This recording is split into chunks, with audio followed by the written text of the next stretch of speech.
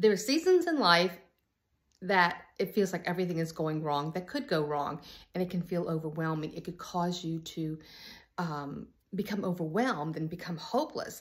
But it says in Psalm 77, the psalmist talks about recalling the good that God has done. It's a simple thing to that we take for granted sometimes. And it's do you have a roof over your head? Do you have a bed to sleep in? Do you have somebody that loves you? Did you get to drink coffee? Did you get to eat? Simple things. Grab it. And it could be bigger things too. But recall the things, the good things that God has done in your life.